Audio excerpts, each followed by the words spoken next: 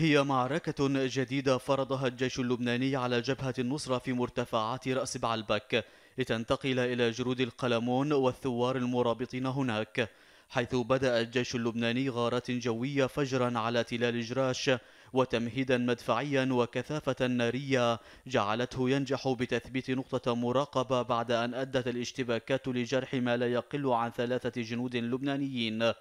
في حين حاول مقاتلي جبهة النصرة التسلل إلى نقطتين من نقاط الجيش اللبناني بالرغم من شراسة المعركة التي فرضها الجانب اللبناني سواء كانت من الجيش أو ميليشيا حزب الله الذي أطلق صاروخا سقط بالقرب من إحدى نقاط الجيش اللبناني على أطراف بلدة عرسال. ليتهم الأخير الثوار السوريين المتواجدين في جرود القلمون بإطلاقه.